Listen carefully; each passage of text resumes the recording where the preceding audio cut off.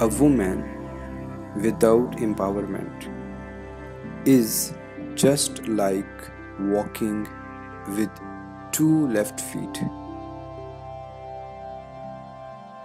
Empowerment of women still seems a crime in many societies where the women rights are their wrongs. In case of women, rituality mostly overtakes the humanity,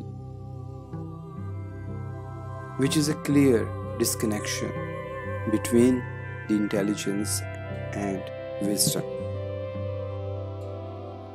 Physical and emotional violence on women is mostly fueled by socio-illogical narrow vision of the society, which is a major threat to the social stability and the country's prospect.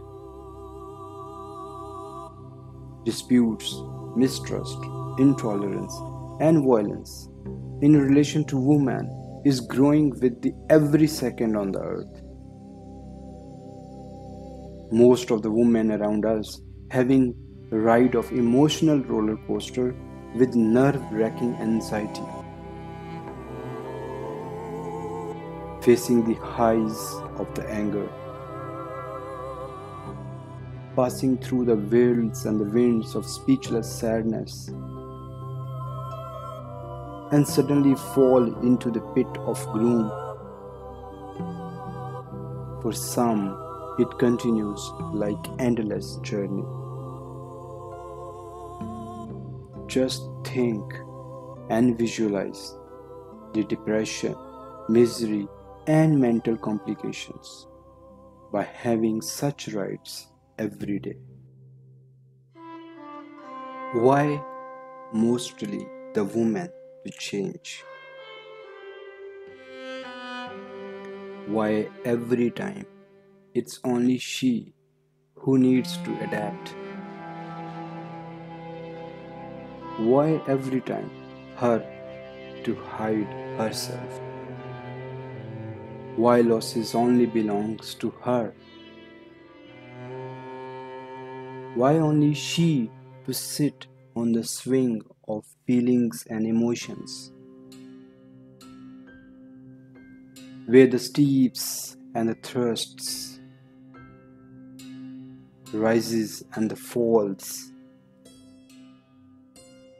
rotations and the spins are in the control of everyone but not her. Then the time comes when she lost and begs to everyone to find herself.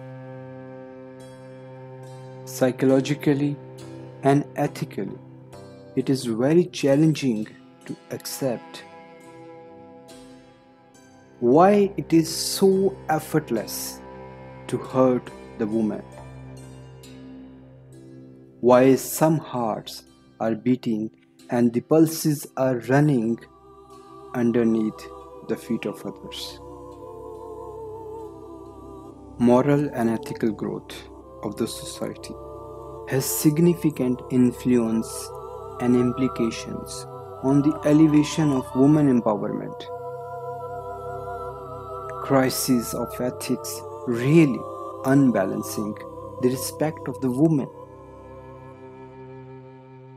It's not only a problem of third world, but for sure it is the problem of the two third of the world.